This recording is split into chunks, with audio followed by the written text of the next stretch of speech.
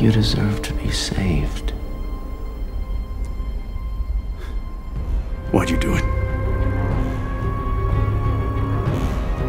Because God commanded it. Because we have work for you.